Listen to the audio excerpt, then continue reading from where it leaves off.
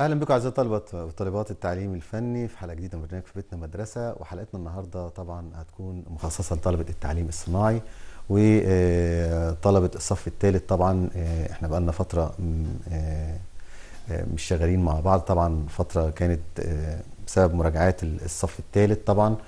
وبنرجع تاني بنستأنف المواد بتاعتنا وبنستكمل الجزء الخاص بالمواد بتاعتنا. طبعا آه، طلبة الصف الثالث أو طلبة الدبلوم بمعنى أصح لأن عندي نوعين في الصف الثالث الصف الثالث في نظام الخمس سنين والصف الثالث في نظام الثلاث سنين. في الخمس سنين إحنا كنا رجعنا معاهم وقفلنا لهم ترم وعملنا لهم مراجعات عشان الامتحان بتاعهم عندهم امتحان نقل. أما طالب الثلاث سنين فدي آه، مرحلة نهائية فبالتالي هو ما عندوش امتحان ترم فبالتالي أي مراجعات عملناها في الفترة اللي فاتت كان لاسترجاع كل ال- اللي إحنا خدناه في الفترة اللي فاتت في الجزء الأول من منهجنا. فإحنا بالنسبة لنا في نهاية العام بنمتحن المنهج بالكامل آه، جزئين الجزء الأول والجزء الثاني اللي هم مسماهم في سنوات النقل الترمين لكن إحنا ما عندناش ترم فبالتالي بما إن امتحاننا في نهاية العام الدراسي فهنتكلم برضو عن جزئية مهمة جدا وهو البرامج اللي إحنا بناخدها عندنا في الجزء الخاص بالدبلوم الصناعي وهو أنا عندي برنامجين بناخدهم على مدار العام الدراسي. البرنامج الأول أوتوكاد وكان في منه آه، شكلين أو طريقتين بنشتغل عليهم. الطريقة ال 2 دي اللي هي الرسم المسطح كأنك بترسم على لوح رسم عادي.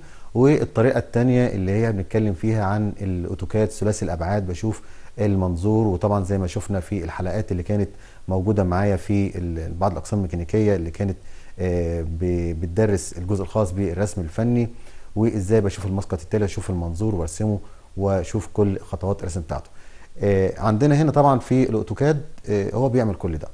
يعني من ضمن مميزاته يمكن في برامج تانية موجودة عندي في الأقسام الميكانيكية زي برنامج انفنتور برضو بيعمل حاجة زي كده. فأنا ما عنديش البرامج دي بس عندي برامج كتير. بس إحنا هنا طبعا بما إن المادة عامة وكل الشعب والتخصصات بتاخدها فبالتالي أنا بجيب التدريبات أو التمارين اللي تكون آه، متناسبة أو متناسقة أو تقدر كل التخصصات بجميع أنواعها تشتغل لكن في برامج تخصصية تنفع التخصص. الجزء الأولاني من منهجنا طبعا إحنا خلصناه وكمان ادينا عليه مراجعات بسيطة وهنراجعه تاني في نهاية العام الدراسي عشان نسترجع كل اللي إحنا خدناه. لكن إحنا دلوقتي بنبدأ في جزء تاني من منهجنا هو برنامج الفوتوشوب. وبرنامج الفوتوشوب من برامج الرسم المهمة عندنا وبرضو عشان نبقى فاهمين وعارفين هو مش البرنامج الوحيد أو الأوحد لأ في برامج كتير جدا.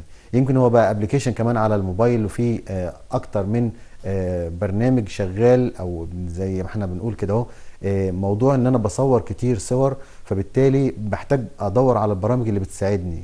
فعشان أدور في السوق أو أدور في المكان اللي فيه كل ال- البرامج اللي هي خاصة بالموبايل أو خاصة حتى بالكمبيوتر هلقى موسوعة أو مجموعة كبيرة جدا من البرامج دي. المتناسب مع التخصصات بتاعتنا أو القريب في التعامل ما بين التخصصات وأقدر إن أنا أنسق وأخلي كل التخصصات تشتغل عليه هو كان برنامج فوتوشوب.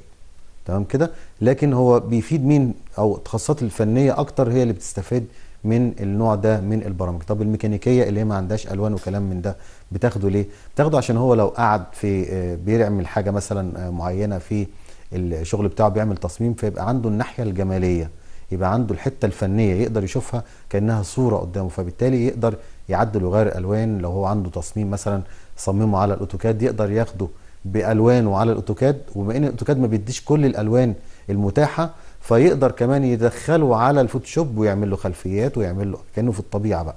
هو يرسم النموذج على الأوتوكاد وياخده يركبه على الفوتوشوب ويبدأ يلعب ويغير في الخلفيات والألوان. هي برضو دي ميزة معاه فهو يقدر يستفيد بيه كده ويقدر يستفيد بيه من الناحية الدعائية أو اللي هو نظام الدعاية والإعلان على برنامج فوتوشوب. يمكن عشان أتكلم على الفوتوشوب ممكن نتكلم الساعة كاملة على البرنامج بس كمقدمة لكن عشان نلحق على طول ندخل على موضوعنا هنبدأ نشتغل على الجزئية دي. حاجة مهمة قبل ما نتنقل على ال- الجزء الفني في الحلقة بتاعتنا. هو طبعا زي ما شفنا في الفترة اللي فاتت يمكن على قناتنا على اليوتيوب كان في تفاعل كبير جدا ما بين الطلبة بتاعتنا والمدرسين. المدرس بتاعنا هو اللي قاعد على اليوتيوب بيرد عليك فعليا. وبالتالي حبينا برضو نأكد على الروابط بتاعتنا. إحنا عندنا ثلاث روابط مهمه إحنا شغالين بيها معاكم هو آه، الرابط الخاص باليوتيوب ورابط الصفحة وكمان رابط المنتديات وهنستعرضهم معاكم دلوقتي. وهنلاحظ إن هم كلهم بينتهوا بكلمة واحدة هي فني education وإحنا طبعا بالاختصار بتاعها هنشوفها دلوقتي على الروابط. هنستعرض الروابط ونرجع للموضوع بسرعة علينا. قناة اليوتيوب بتاعتنا ده الرابط بتاعها www.youtube.com slash c slash فني education. اللي F A N Y E D U C احفظ الكلمة دي لأنها هتتكرر مع الرابط اللي بعد كده. صفحتنا على الفيسبوك برضو نفس الموضوع. سلاش فني education. نفس الكلمة بس طبعا معاها تردد القناة بتاعتنا عشان برضو يبقى سهل علينا إن إحنا نعرف ال- ال- الصفحة بالتردد بتاعها. وبرضو موجود عليها الأساتذة وبيردوا على حضراتكم. بعد كده منتديات قطاع التعليم الفني وهي رابطة ما بين كل الكلام ده ومتقسم الحاجة عليها بشكل مميز. وفي فيديو موجود عندنا متصور بشكل خاص على إزاي اتعامل مع المنتديات. طبعا منتديات متخصصة في كل المواد. وبرده www.fanny education اللي F A N Y E D U C dot Y O O 7 عشان برضو في ناس بتتلخبط في موضوع رقم 7 ده dot com. ده رابط المنتديات وده طبعا آه، شغال معانا بقالنا فترة كبيرة جدا وعليه كل المواد العلمية. سهل لو أنا بتايه آه، إن أنا أدور على المادة العلمية بتاعتي على آه، قناة اليوتيوب. لو دخلت على المنتديات هتلقى هتعرف تخصصك هتدخل تعرف الصف بتاعك هتدخل كمان على الصف هتفتح الصف بتاعك هتلقى المواد. لو ضغطت على المادة هتفتحها جوه هتلاقي الموضوعات ومترتبة بترتيب المنهج بتاعك. يبقى دي برضو أسهل شوية يمكن أنا بحب المنتديات أكتر وهي معمولة في الأساس عشان تقدر توزع لك الفيديوهات الموجودة على قناة اليوتيوب. وطبعا كله بمجهود زمايلنا هنا الموجودين معانا اللي بيساعدونا إن إحنا نظهر الحلقات بالشكل الجيد اللي هو بيعجبكم. وده طبعا كومنتات اللي بنشوفها على حلقاتنا وخصوصا كمان على الحلقات الممتازة زي حلقتنا النهارده. طيب نطلع بقى على الجزء المهم بتاعنا وهو برنامج فوتوشوب. برنامج فوتوشوب هو برنامج آه، كمبيوتر عادي بالنسبة لنا. فلو أنا بتعامل مع الكمبيوتر أصلا فهبقى متوقع إن أشكال الزراير دي تشبه اللي موجودة في برنامج تاني. لو أنا شغال على ال Word لو أنا شغال على ال AutoCAD معروف إن زرار الحفظ أو آه، الرمز الحفظ هو علامة ال floppy disk. فبالتالي أنا أقدر أبقى فاهم إن ده بتاع الحفظ. وال save as عارف إن هي ممكن تكون لو البرنامج بالعربي مكتوبة حفظ باسم أو save as اللي أنا واخدها أو متعلمها في البرامج التانية. تعالوا نشوف المقدمة الخاصة بالفوتوشوب وشوية التعريفات اللي ممكن يجي لي فيها أسئلة نظري. بيقول لي بالنسبة لبرنامج فوتوشوب آه، برنامج عبارة عن الغرض منه الأساسي هو برنامج معالجة وتحرير الصور. هو أساسا بيحرر ويعالج الصور. يعني إيه يحرر ويعالج الصور؟ يعني لو مثلا أنا لقطت لقطة زي اللي إحنا موجودين فيها دلوقتي أقدر إن أنا أعمل كل اللي موجود ده قدامكم شايفينه عن طريق البرنامج بالشكل اللي إحنا شايفينه فبالتالي هيسهل لي ويساعدني. طب الميزة الأكتر إيه تاني؟ لو أنا اتصورت في خلفية مش عجباني وعايز مثلا أحطني مثلا أنا اتصورت في مكان والخلفية كانت صعبة كان فيها حجارة وشكل مش مش ظريف بمعنى أصح. بس أنا مش قادر إن أنا أغير الصورة دي أنا حابب صورتي. أنا كنت متصور مع مجموعة والمجموعة دول حبايبي فبالتالي الخلفية مش عجباني بس حبايبي مش قادر أسيبهم. هقدر آخدهم معايا وأحطهم في مكان تاني بخلفية تانية. سيبنا من موضوع إن يكون في كروما في ناس بتصور على خلفية خضراء وبتبدأ تفرغ الخلفية. برضه بيتم في الصور الصور اللي هي العادية الفوتوغرافي. بس لأ ده أنا كمان بقدر إن أفرغ حتى لو الخلفية مش خضراء.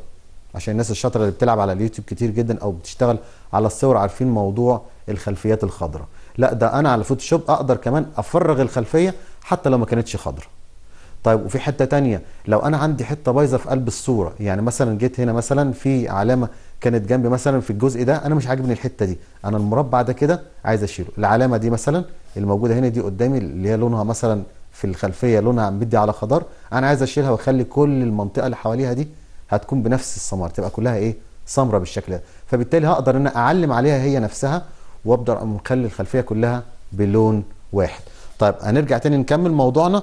هنقول. بيستخدم في عمل بنرات الصفحات الويب وتصميم الشعارات. ده أنا أقدر أستخدمه كمان استخدامات تانية.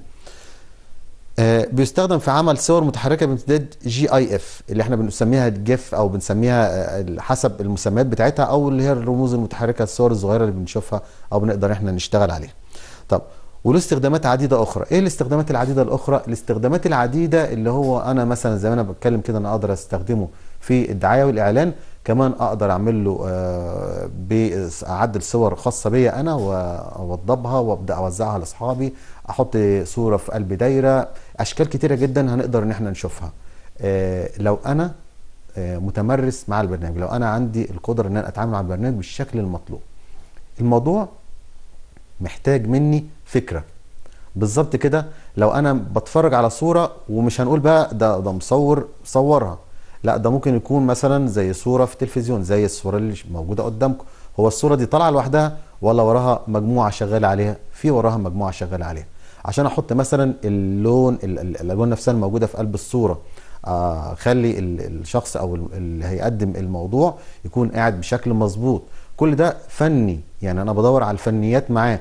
طب هو الشخص اللي جاب أو المجموعة اللي اللي بتصور الكلام ده هل هي مجموعة عادية جت وقعدت الناس بالشكل ال- المطلوب وخلاص بدأت تصور ولا عنده فن كمان في عرض الصورة؟ لا ده عنده فن. ده ممكن يقسم لك الصورة الشاشة مثلا صورتين زي ما بيحصل مثلا معانا. فبالتالي تخليك تبقى منجذب أكتر. لا ده اللي بيقدم خلي بالنا إحنا بنتكلم على حتة مهمة جدا إن الفوتوشوب عندي فيه كمان تعديل على الفيديو. فبالتالي أقدر أتعامل بده على الفيديو. وطبعا لينا تجارب كتير جدا في الموضوع ده على البرنامج. وإن شاء الله في مع نهاية ال- ال- السنة بتاعتنا ممكن لو في تمارين بسيطة من النوع ده نقدر نعرضها معاكم لكن طبعا هي مش في المنهج. لو عرضناها نعرضها كده بس كفكرة أقدر أعملها على البرنامج. فبالتالي لازم اللي يكون ورا الكاميرا يكون فنان عشان يقدر يطلع لك الشكل اللي أقدر إن أنا أتعامل بيه أو أظهره على الناس فالناس تعجب بيه. بالتالي لو الناس أعجبت بشكل الصورة هتكمل معايا الموضوع. طب لو الموضوع مهم جدا والصورة وحشة هيسيبوا الصورة ويقوم. مش محتاج إن هو يتعامل مع الصورة تاني. فبالتالي التعامل مع الصورة مهم جدا جدا. طب ليه بنقول الكلام ده كمان؟ لأن أنا البرنامج عندي بيعمل دعاية. أقدر إن أنا أجيب أعمل غلاف لمنتج عندي. ممكن يكون الغلاف الغلاف جميل جدا بس المنتج اللي جوه رديء وتلقى المنتج بيتباع بسبب إن الغلاف شكله حلو. هشتريه مرة على مرة كده ال- ال- الناس اللي هي ال- ال- العملاء بتوعي. بس طبعا لما بيكتشفوا إن المادة اللي جوه سيئة فبيبدأ يطلع أو زي ما إحنا بنقول كده بيبقى في رد فعل على إن المنتج بتاعي سيء. آه الغلاف حلو آه بس المنتج سيء. آه باع شوية آه بس بعد كده هينزل الكيرف بتاع البيع بتاعه مرة واحدة لأن طبعا تم اكتشاف آه عدم جودة المنتج بتاعي. على العكس ممكن يكون المنتج ممتاز جدا وعالي الجودة بدرجة لا توصف بس الغلاف سيء. المنتج ما يتباعش بسبب الغلاف السيء. طب الغلاف السيء هيجي منين؟ هيجي من آه، فنان كان قاعد بيعمل التصميم بتاعي المفروض يكون على المنتج بتاعي وعمله بشكل ما حصلش منه جذب لل- للناس أو للجمهور بتاعي. فبالتالي ده المهم. أنا أنا مش بشتغل لوحدي أنا بشتغل على حاجة المفروض تعجب الناس. فبالتالي لما أجي أعمل الحاجة دي لازم تكون بتعجب الناس الأول. أختار الألوان ال- ال- ال- المناسبة. مثلا لو أنا بالنسبة لي هتكلم عن تخصص مثلا زي تخصص النسيج أو الملابس الجاهزة الحاجات اللي فيها الألوان اللي هي أساسا بتتباع عشان ألوانها.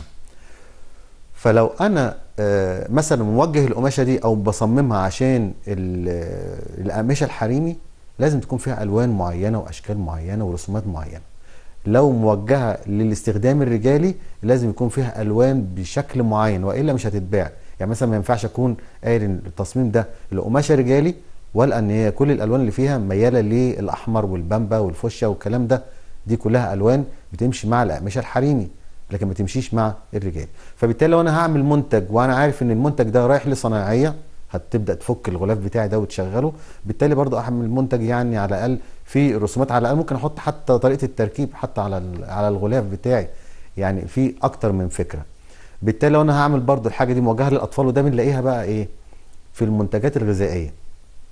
لو دخلت على السوبر ماركت هتلقى رصص ألوان من الأغلفة. الغلاف اللي بيجذب طبعا هو بيبيع معظم ال- البيع لأطفال. الغلاف اللي بيجذب الطفل هو اللي بيروح يشتريه. ممكن انت تيجي تقول لابنك أو أخوك أو حسب ال- ال- الشخص اللي معاك بلاش تاخد المنتج ده ده المنتج ده يقول لك لا أنا عايزه يعني عايزه. هو عايزه هو طفل هو شاف اللون وعجب باللون ودي كانت فكرة المصمم فعلا إنه يجذبه على اللون مش يجذبه على المنتج اللي جوه آه هو اشتراه وما قدرش ياكله ان هو كان سيء بس هو خد ال- العبوة أو الغلاف الخارجي كحاجة تجذب الطالب أو تجذب الطفل بتاعي. فهو ده اللي ماشي في السوق إن أنا بعمل دعاية وإعلان هتلاقي حتى في بعض الألوان أنت لو شفتها تعرف آه ده اللون ده بتاع الشركة دي. خلاص أنت عارف إن هم عايزين يعملوا منتج أو بيعلنوا عن حاجة للشركة دي. طب لو لقيت شعار شركة تانية موجود مش هتقبل عدم وجوده لأن أنت خلاص متعود على اللون ده بتاع الشركة آه، رقم واحد بالنسبة لك. وهكذا بالنسبة للتصميمات فالألوان والتصميمات والأشكال الزخرفية اللي بنحطها على تصميمات مهمة جدا خصوصا للعميل بتاعي كمان إن هي اللي بتجذبه نمرة واحد. نكمل بقى على الجزء الخاص بينا وبنكمل في الجزء الخاص بال إحنا كده فهمنا ال- الاستخدامات وعرفنا إن هو بيستخدم لعمل البنرات وهو في الأساس للدعاية بغير الصور بعدل على الصورة بلقط الصورة الصورة فيها مكان مش عاجبني أو في آه، أي شكل مش عاجبني في الصورة بقدر أغير ال- الشكل نفسه.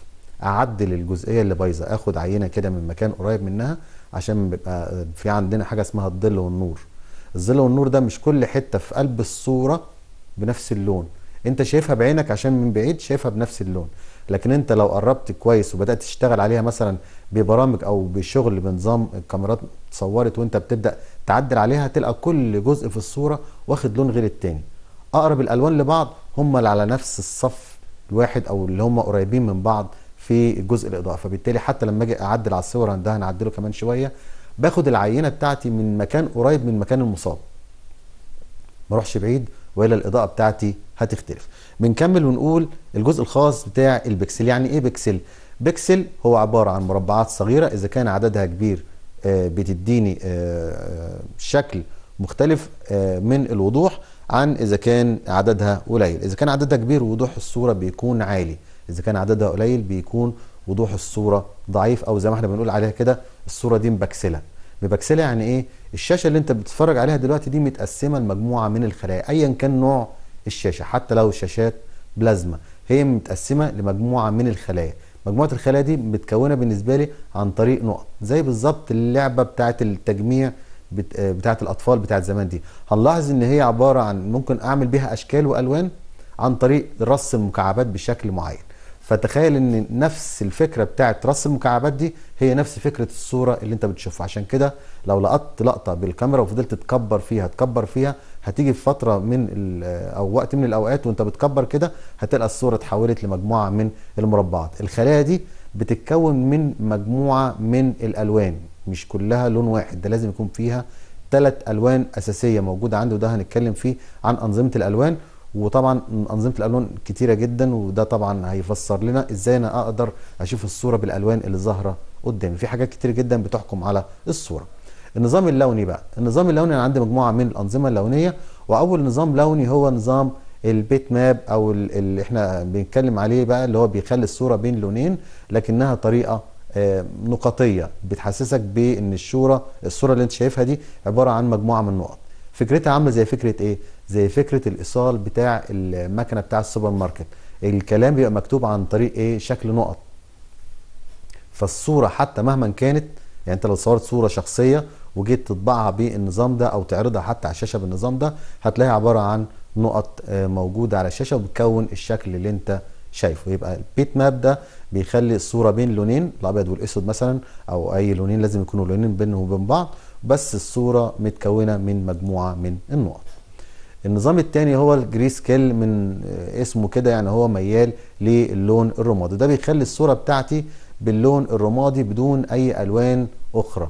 معنى كده إن هيكون في تدريج ما بين اللون ال- الرمادي بتاعي وهو ده اللي بيظهر الصورة بالشكل المطلوب. وده برضو من ضمن ال- الأنظمة اللي موجودة عندي على البرنامج. ممكن أكون متصور صورة جميلة جدا؟ ولما احولها كمان آه، للجري سكيل ابص الاقي ال- الصورة بقت أشيك. عشان كده هنلاقي إن في بعض الصور موجودة آه، ده نظام نظام الدعاية يعني. آه، بدل ما أنا أشغل ألوان لأ أنا أخليها اظهرها باللون الأبيض والأسود أو بالتدريج الرمادي عشان يحسسك بإن الصورة جميلة. وطبعا بتستخدم في بعض الأحيان في أماكن في تصميمات معينة. يعني مثلا تصميم أنا بتكلم عن تاريخ أو أنا عايز أظهر إن الصورة دي متصورة في وقت قديم جدا فبالتالي ببدأ أحط كل التفاصيل اللي تقول إن الشخص ده متصورة مثلا من 20 30 سنة. فدي فكرة الصورة. ففي ناس بتعجبها كمان الأشكال دي من التصميمات وبنشوفها كمان يعني يمكن في بعض ال ال الفيديوهات كمان موجودة آه، عندنا بنلقى إن فيها الفكرة دي إنه يحول لك الصورة للألوان ال- الأبيض والأسود أو التدرج الرمادي. بعد كده ده النظام المهم هو ال RGB red green blue الأحمر والأخضر والأزرق. ده آه، النظام الأساسي ال RGB دوت ده النظام الأساسي اللي إحنا في الأساس بنشتغل بيه أو هو المنتشر أو هو الداير أو الدارج مع الناس. وده للتعامل بجميع درجات الألوان مع دقة 72 بكسل في البوصة. ده بيعتمد على خلط ألوان الضوء. خلي بالنا اللي إحنا بنتكلم فيه ده هو ده اللي إحنا شغالين عليه دلوقتي. هو ده الشاشة اللي قدامكم. الشاشة اللي قدامكم اللي ظاهرة دلوقتي هي عبارة عن نظام لو آه، ضوئي في الألوان. نظام الألوان بتاعها نظام ضوئي. بيعتمد على ثلاث ألوان هي الأحمر والأخضر والأزرق. خلط الثلاثه دول مع بعض هم اللي ظاهرين الصورة اللي ظاهرة قدامك. الخلية الواحدة يعني لو إحنا قلنا مثلا إن المكان ده عبارة عن خلية فالخلية دي فيها ثلاث ألوان. الخلية اعتبرها نقطة.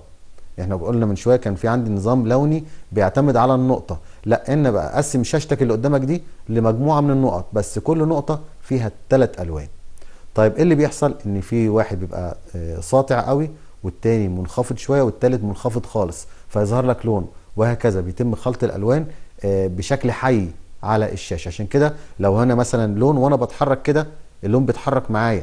الخلايا كده بتتغير ألوانها. يعني أنا هنا في إضاءة المكان ده كده. الخلايا قارية اللون ده بطريقة والألوان اللي حواليها بطريقة تانية. لما أنا بتحرك هي بتتحرك معايا. أنا بحرك الصورة هي بتبدأ تطفي شوية وتنور شوية أو كده. التدرج ما بين الثلاث ألوان هو اللي ظاهر لك الصورة اللي قدامك اللي أنت شايفها في النهاية. طبعا بيعتمد على الضوء في إظهار الصورة بالشكل ده وده طبعا زي ما قلنا من أهم أنظمة الألوان اللي عندي. بعد كده نظام CMYK وده نظام لطباعة الصور اللي تم آه، تصميمها آه، أو عملها على البرنامج مع الدقة 300 بكسل. اللي فاتت ال RGB كان 72 بكسل اللي جاية دي 300 بكسل. انه الدقة بتاعته أعلى؟ اللي إحنا بنتكلم فيه دلوقتي اللي هو CMYK بس CMYK ده بيعتمد على ألوان أحبار الطباعة. فبالتالي هنلاقي حاجة قدام شوية كده وإحنا شغالين على البرنامج. لما بنيجي نشتغل بنبص تلاقي لو أنا عايز اختار الوان تلقى في علامات تعجب بدأت تظهر لك على الألوان يقول لك الألوان دي تنفع للشاشة لكن ما تنفعش للطباعة أو ما تنفعش للاستخدام على الويب أو على النت عموما. هو في نظام الألوان كده في ألوان تشتغل عندي على شاشة الكمبيوتر وما تشتغلش على ال- النت. لو أنا رفعتها على عملت مثلا لوجوهات وكده وعايز أوضب صفحتي كده وأدلعها وأحط فيها صور بأشكال معينة. وأنا بحط الالوان بتاعتها أو بختار الوانها ممكن اختار الوان. واجي ارفع الصورة على النت أو على الصفحه بتاعتي الاقيها ظاهرة بألوان تانية. إيه السبب؟ لأن أنا ما راعيتش الحتة دي. لازم أخلي بالي إن الألوان بتاعتي هتظهر دي ألوان على الويب لازم أكون مناسبة للويب. هو مش هيظهر غير كده. لو أنا عايز أطبع الصورة دي على ورق لازم أعمل حسابي على أحبار الطباعة. خلي بالنا من الحتة دي. ألوان الطباعة هي ال CMYK بتشتغل بنظام الأربع ألوان طبعا وده اللي بيخليه اللي بيظهر لي الصورة في النهاية على الورق. يبقى ألوان الضوء RGB ألوان الطباعة CMYK نظام ال Lab أو LAB إحنا مسمينه ال Lab اختصارا ليه لكن هو LAB color وال LAB color ده ده نظام وسط ما بين ال CMYK وال RGB لكن استخدامه قليل لأن أنا عشان أجهزه باخد تجهيزات كتيرة جدا وبياخد حجم الصورة يعني أنتم ما تتخيلوش. إن الصورة ليها وزن كمان على سطح ال- البرنامج أو في تشغيل البرنامج. فبالتالي بخلي بالي من الحتة دي إن لما أكون شغال في النظام الوسط ده أنا بحمل على الجهاز حاجتين كأن الصورة دي هتطبع أو كأن الصورة دي هتتعرض على شاشة. فبالتالي هو بيضاعف قدرات الصورة عشان تقدر تطلع في الجهتين. فطبعا ده نظام صعب جدا التعامل معاه بالنسبة لوزن الصورة مش بتكلم على الفني اللي يبقى قاعد شغال أو اللي يشتغل على البرنامج لا هو بالنسبة له تكون سهلة. أنا بتكلم صعوبة وزن الصورة حجم الصورة بيكبر. أنت كل ما بتختار دقة عالية للصورة حجمها بيكبر. رخر يعني ممكن تلقى إن الصورة أنت مصورها بالموبايل عادي بس الموبايل كانت دقته كويسة وجيت تشتغل فيها على البرنامج وضفت عليها شوية حاجات كان مثلا حجمها الأساسي مثلا نقول 50 ميجا الدقة بتاعتها كانت عالية جدا وحجمها كان صغير ولما جيت تشتغل عليها على البرنامج لعبت فيها كتير جدا فوصلت من ال 50 جيجا الميجا مثلا وصلت ل 500 ميجا. نص جيجا. ده المساحة دي كبيرة جدا. جت منين؟ جت من الإضافات اللي أنت قعدت تلعب بيها على الصورة والدقة اللي أنت شغال بيها. رفعت من حجم الصورة. وكمان حتى لو أنت كبرت حجم الصورة على البرنامج في نظام تكبير من غير ما تأثر على ال- الدقة فده برضو بيأثر على آه، وزن الصورة. أنا بسميه وزن الصورة إن تبقى كانت مثلا 50 ميجا وبقت 500 وممكن تبقى جيجا كمان. عشان كده لما بيجي تقول لك لو أنت هتشتغل برامج جرافيك أو برامج آه، صور زي ال Photoshop وكده حاول يكون معاك جهاز يتحمل التشغيل ده لأن أنت بتبقى شغال بكل موارد الجهاز لازم تبقى راماتك عالية لازم كارت الشاشة يكون عالي عشان خاطر تقدر تتعامل مع الصورة وكمان معاك ال processor عالي. كل موارد الجهاز أنت بتشغلها في النظام ده. عشان كده في أجهزة معينة وتبقى بأرقام كبيرة جدا بتشتغل برامج الصور أو برامج الجرافيك مش أي جهاز يشتغل جرافيك. آه أنت فرحان إن أنت معاك جهاز لابتوب أو جهاز كمبيوتر بس هو على استخدامك المحدود. تفتح ورقة تكتب بيها تلعب لعبة صغيرة. ممكن لو حابب تكبر قوي هت يعني هتكبر شوية بس هتلعب الألعاب التقيلة. بس تعالى خده وشغل عليه برنامج جرافيك مش هتلاقيه شغال هتلاقيه صعب. عشان كده تلقى ال- الناس اللي شغالة في النظام ده هتلاقيهم بيجيبوا أجهزة مخصوصة وليها إمكانيات معينة وبيجيبوها بأرقام كبيرة. يعني بس لأن هو هيشتغل بيها مش نظام عشان كده إحنا بنقول أنا أقدر لو بقى عندي مهارات حلوة جدا في البرنامج أقدر آه، أبدأ بيه مشروع صغير. أعدل بس صور أصحابي صور زمايلي بمبالغ صغيرة. بعد كده الموضوع هيكبر لو أنا كنت شاطر وعندي المهارة اللي تخليني أعدل على الصورة والصورة تعجب الناس. ده إحنا بنتكلم كده عن الجودة. طبعا كلنا بندرس الجودة في مدارس التعليم الفني فكل ما كانت جودة المنتج بتاعك عالية كل ما العملاء بتوعك زادوا.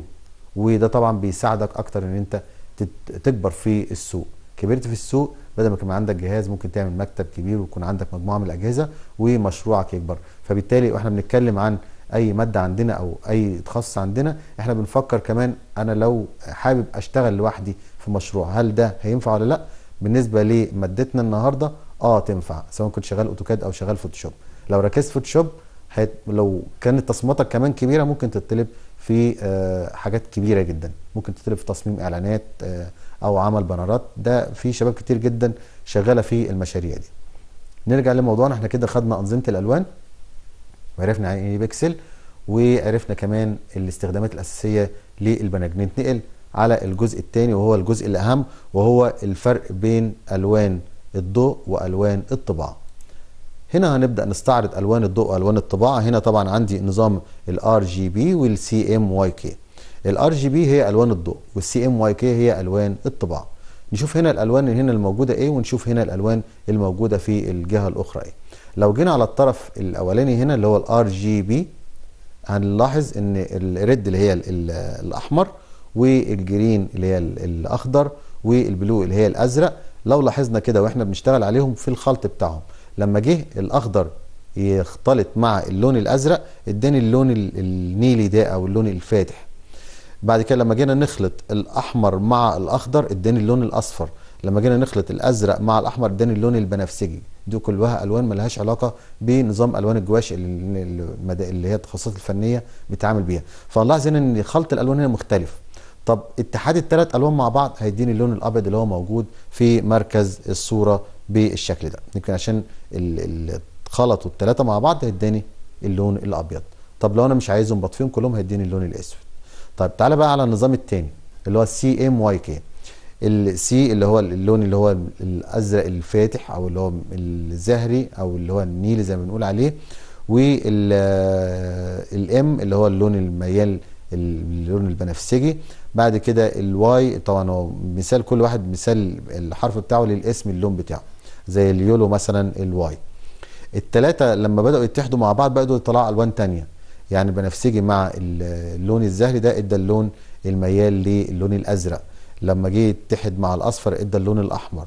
لما جه يتحد الأصفر مع اللون اللي هو ال- الزهري ده إدى اللون الأخضر. لما التلاتة اتحدوا مع بعض إداني اللون الأسود اللي موجود في النص. يبقى هنا ده للشاشات الرقمية وده للوحات الطباعة.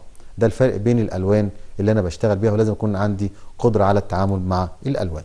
بعد كده نطلع بقى على الجزء العملي هو واجهه البرنامج. وده الجزء اللي يهمنا إزاي أتعامل مع البرنامج. عندنا حاجة بسيطة كده عشان نظهر واجهه البرنامج. الصورة بتوضح منطقة أو ال- الجزء الخاص بالبرنامج. أول حاجة عندي هنا هنلاحظ إن هنا موجود عندي لو بدأنا كده بالأشرطة ال- العلوية. ده طبعا ده الشريط الأساسي اللي فيه القوائم بتاعتي أو المسمى نفسه بتاع البرنامج أو الملف اللي أنا فاتحه. بعد كده عند شريط القوائم وبعد كده أدوات العرض الخاصة بالبرنامج. بعد كده شريط إعدادات الأداة. إيه هي الأداة؟ أداة من دول. أي أداة بضغط عليها هنا بيتفتح لي على الشريط ده الإعدادات الخاصة بيها. هنا طبعا ده قائمة الأدوات اللي أنا بشتغل بيها في البرنامج. بعد كده عندي هنا أقسام الخاصة بالبرنامج قائمة الأدوات المساعدة. هنا الأدوات الأساسية لكن هنا أدوات مساعدة. وهنا في قائمة الإضافات والطبقات وكل اللي أقدر حابب أضيفه على الصورة بيكون عندي في الويندوز الجانبية دي. وطبعا المنطقة دي بيكون مفتوح فيها منطقة العمل أو مساحة العمل اللي عندي اللي هي الصورة اللي أنا ببدأ إن أنا أعدل عليها. تعالوا نطلع على حاجة على طول تانية وهي إزاي أنا أشغل البرنامج. عشان أشغل البرنامج هنظهر كده ونشوف إزاي أنا بفتح البرنامج وهنا كده طبعا شاشة الكمبيوتر قدامي. طبعا بضغط على قائمه ستارت وبدور على البرنامج بتاعي في القائمه عندي. بقى الاقي هنا مكتوب عليه Adobe Photoshop CC هنا الإصدار اللي أنا مشغلها اسمها كده. طبعا هو في أكتر من إصدارة وهنتكلم على الإصدارات دي آه بعد ما نخلص التمرين اللي معانا.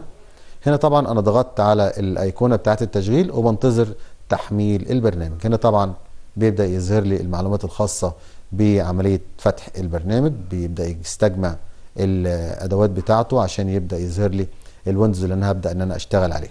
بدأت تفتح الويندوز بالشكل ده. طبعا ده الشكل الأساسي للبرنامج الإصدارة كانت بلون غامق أو خلفيتها سوداء بالشكل ده فبالتالي بقدر أتعامل بيها بالطريقة دي. طبعا أنا كل ده ببدأ أنا إيه بمرر أو بمر على الأدوات بتاعتي وكل الأدوات دي هنبدأ نعرف خصائصها وإزاي أتعامل معاها بشكل منفصل مع التدريبات والتمارين اللي جاية. طبعا هنخلي الشرح بتاعها مع التمارين لأن كل أداة منهم ليها حكاية وليها طريقة كمان في التعامل. يبقى هنا كده شريط الأدوات الخاص بيا ودي الأدوات الأساسية اللي بقدر أعدل بيها على الصورة بتاعتي بالشكل المطلوب. وزي ما قلنا الشريط ده كمان هو أساس التعامل مع أي صورة. في بعض الأدوات هنا مش شغلتها التعديل ممكن يكون شغلتها التحريك ممكن شغلتها الكتابة. يعني هنا في نظام الكتابة. أول ما أنزل على التكست اللي تحتيه على طول ده ده الجزء الخاص بالكتابة على الصور.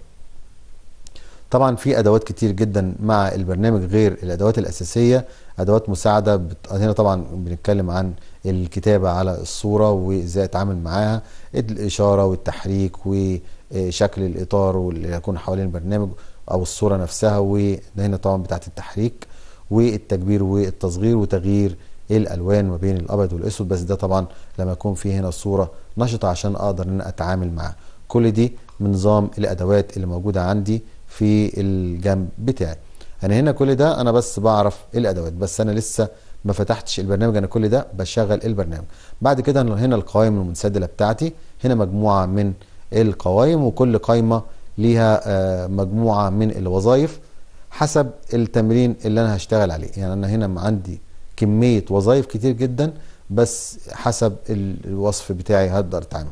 هنا أنا قلت هنا عندي شريط الخاص بالأدوات الخاصة بالاداه أتحكم في الأداة إزاي؟ لما بضغط على الأداة هنا بيطلع لي كل الخصائص بتاعة الأداة بتاعتي وأقدر إن أعدل عليها من المكان ده. وبرده ده هنشوفه أكتر لما نبدأ نشتغل مع التمرين يكون هنا في صورة مفتوحة قدامي عشان أقدر إن أنا أعدل عليها وأفهم كل الكلام ده بيتم التعامل معاه إزاي. لكن هنا إحنا شفنا كده عملنا جولة مع الأشرطة والأدوات الموجودة عندي على البرنامج وبتنقل لموضوع تاني إزاي أفتح ملف جديد على البرنامج. عشان افتح ملف جديد على البرنامج لازم اخلي بالي من حاجة مهمة جدا. لازم يكون عندي في الأساس فكرة. أنا هنا هفتح ملف ورقة بيضة. مش هفتح ملف أجيب صورة وأعدل عليها لأ ده أنا هشتغل على ورقة بيضة زي ما هنشوف دلوقتي. تعالوا نشوف الفرق بين الاثنين لما نيجي نفتح الملف. هنا طبعا هبدأ هنا طبعا عندي البرنامج مفتوح بس ما فيش حاجة هنا أشتغل عليها. فهاجي هنا على فايل وهدور على النيو عشان أبدأ إن أنا أفتح ملف. هنا طبعا ده ال windows الخاصة بفتح الملف. وهبدأ أشوف بقى المواصفات اللي أنا عايزها. أول حاجة اسم الملف. لازم أسمي الملف بتاعي عشان يبقى سهل الحفظ عليه. هنا هسميه ملف جديد. طبعا تسميه بالاسم اللي أنت حابه عشان تقدر ترجع له في وقت ما أنت حابب. بعد كده هنا طبعا الجزء الخاص بال preset بتاعتي أو النظام الورق اللي أنا هشتغل بيه. هنا طبعا أنا اخترت ال default Photoshop size هنا ده المقاس الأساسي اللي عندي أو المقاسات اللي أنا بتعامل بيها مع البرنامج اللي هي ال default نازلة مع الايه نظام ال Photoshop لكن هنا عندي مجموعة كبيرة جدا من أنواع الورق مثلا زي US paper بدأ يتنقل معايا ويتغير. هنا لو فردت القائمه بتاعت أنواع الورق هلاقي فيها مجموعة مختلفة من أنواع الورق زي letter و legal و tabloid لو أنا غيرت نوع الورق كل ما بغير نوع الورقة أو حجم الورقة بيتغير معايا المقاسات في قلب ال windows دي. أنا هنا بتفرج بس على أنواع الورق وأنا بغير. لو جيت هنا international paper واخترته هلاقي الورقة A 4 بدأت تظهر معايا؟ ونظام الورق العادي بدأ يظهر معايا الاي 4 واي 5 واي 3 واي 6 وبي 5 4 3 و C 6 5 4 وهكذا. دي كلها المقاسات ال international العادية اللي إحنا فاهمينها اللي هي مقاسات الورق اللي أنا بتعامل بيه. بعد كده طبعا أنا أقدر هنا أول ما بضغط على نوع الورق بيبدأ يظهر لي المقاس بتاعه بالسنتي وبالبوصة حسب ما أنا إيه ظابط الشغل بتاعي. هنا طبعا اخترت نظام الفوتو وفي نظام الفوتو هنا بيديني بقى رقمين مضروبين في بعض. 2 في 3 4 في 6 5 في 7 حسب حجم الصورة. وهنا خلي بالنا بقى أنا عندي نظامين. في نظام طولي بيظهر الصورة بالطول وفي نظام عرضي. لو هنا بيقول لي إيه؟ العرض والطول لو لاحظنا هنا وهنرجع تاني طبعا للنظام الفوتو كمان شوية. آه نظام ال web. ال web ده موضوع تاني بقى. المقاسات بتاعتي حسب حجم الشاشات أو حسب حجم العرض على الويب. 800 في 600 و1024 في آه 500 و 780 وهكذا يعني. بعد كده نظام شاشات الموبايل. هتلاقي المقاسات هنا أو حجم الصورة هنا بيبقى بمقدار حجم شاشة الجهاز اللي هيتعرض عليه. فأقدر أحمل هنا حاجة نظام الموبايل أو ال device. نظام الفيلم أو الفيديو. هل أن هنا نظام أنظمة الفيديو هي الموجودة معايا؟ ال NTSC أو ال PAL أو ال HD أو وهكذا. كل دي أنظمة إيه؟ أنظمة تشغيل فيديو أو أنظمة تصميم أو تعديل على الفيديو. حجم فيديو. وبعد كده الكاستم طبعا في الكاستم أنا بقى اللي بتصرف بمزاجي وأحدد الأحجام الأطوال والعروض على حسب ما أنا حابب أظهر الايه الصورة بتاعتي. فأنا هنا بختار الطول والعرض وطبعا بختاره بالسنتي أو بالبكسل أو بالبوصة. هنا طبعا اخترته 50 سنتيمتر. على طول التاني بعدله وأخليه 40 يبقى هنا العرض 50 والارتفاع 40 حاجة كده بالطول. هاجي هنا هعدل نظام بكسل في البوصة أو بكسل في السنت وهنا بعدل نظام ال bit كمان بتاع الألوان. لو لاحظنا هنا إن حجم الصورة كل ما بلعب أو بغير بيكبر. يعني كل ما بزود الدقة أو بزود الحجم أو بزود أي حاجة الحجم الصورة بيكبر. كان 9 ميجا بقى 18 ميجا رجع تاني 6 ميجا. لما غيرت الحجم الصورة مختلف هنا وصل ل 24 ميجا. أنا قاعد بغير في الحجم وبغير في الدقة. هبص ألاقي إن هنا ال size image size بيبدأ يتغير معايا ويكبر أو يصغر على حسب ما أنا بختار. هنا طبعا بالنسبة لي أنا بغير وحدات فبالتالي ملهاش علاقة بحجم الصورة. ده هي كده كده الرقم مكتوب بس أنا كل بغير حجم الرقم اللي دخلته في البداية بيتغير بناء على النظام القياس اللي أنا إيه بختاره أو اللي أنا بحدده معايا. هنا طبعا هنا بيقول لي ال resolution بتاعي هنا 300 بكسل في البوصة. طبعا أنا أقدر أغيره وأزوده. لو زودته حجم الصورة بيزيد. لو قللته حجم الصورة بيقل. هنا لما وصلت 500 الصورة وصلت 60 ميجا.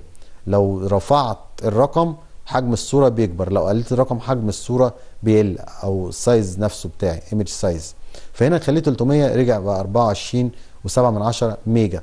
طب لعبت في ال bit بتاع الألوان؟ هبص ألاقي برضو إن النظام بتاع image size بيتغير. كل ما بلعب في حاجة أو كل ما بغير حاجة معايا في إعداد الملف اللي أنا هشتغل عليه حجم الصورة اللي هتظهر معايا في النهاية بيتغير. هنا طبعا بلعب بغير في ال background بتاعي أقدر أخليها أبيض أقدر أخليه background color أنا اللي بختار اللون بتاعي وهكذا. أنا طبعا هنا بختاره white أبيض.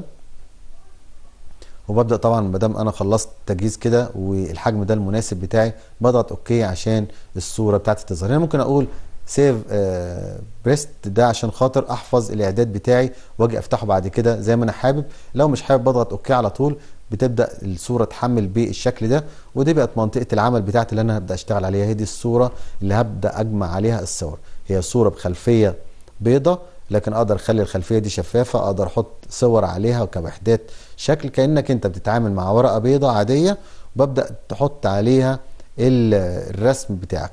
هنا طبعا عندي حاجة مهمة جدا هو القفل اللي موجود على طبقة الصورة دي. طول ما هو موجود لو حبيت اسحب اللون الأبيض من مكانه بتظهر لي الرسالة دي.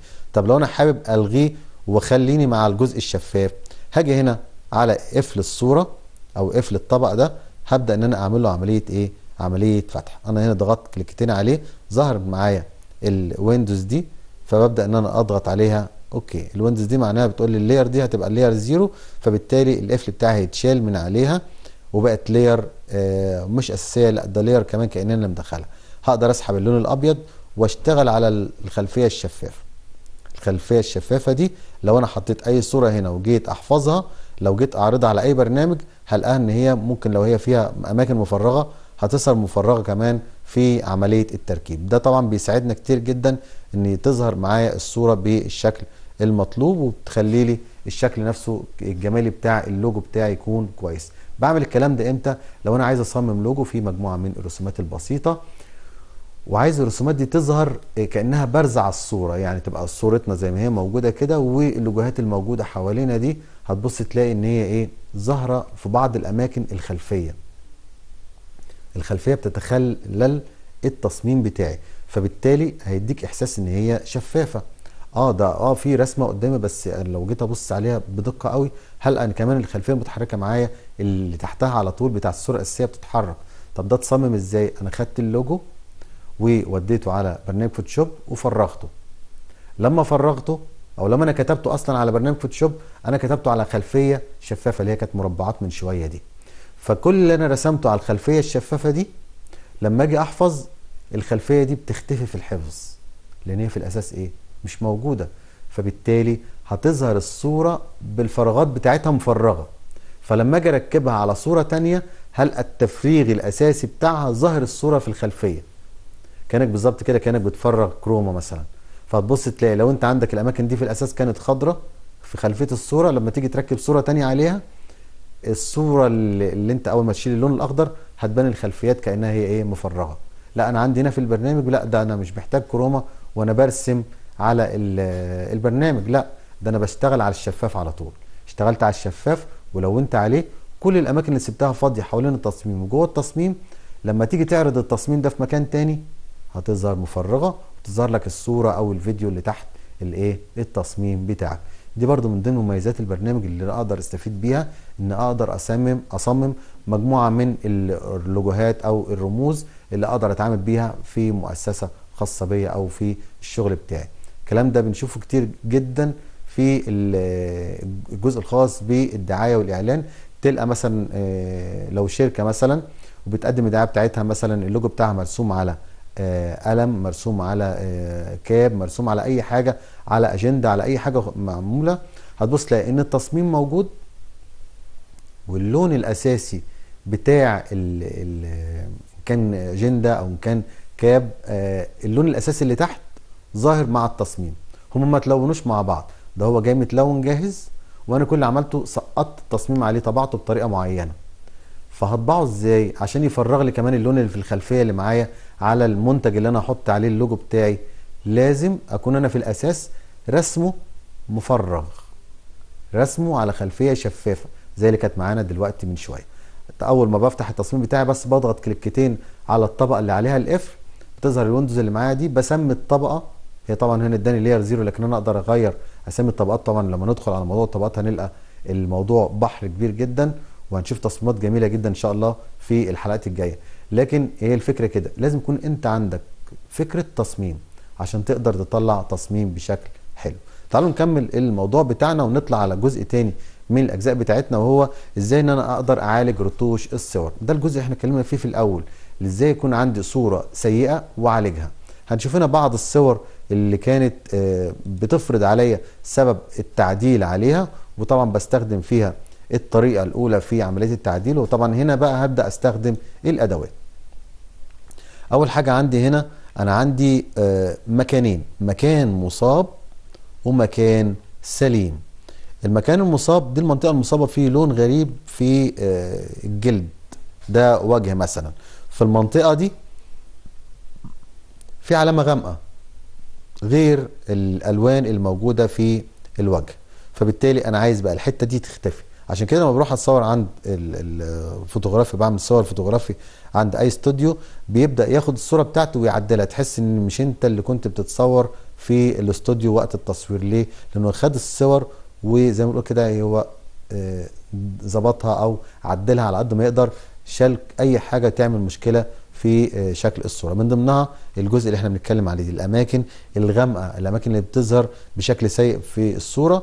بيشيلها بالشكل ده. هنا طبعا بعد ما بيختار المنطقة اللي هي السليمة بيضغط زرار alt من ال keyboard وبيبدأ إن هو يفضل شغال عليه ويضغط click شمال بالماوس ويبدأ يسحب المكان السليم ويجيبه عند المكان المصاب.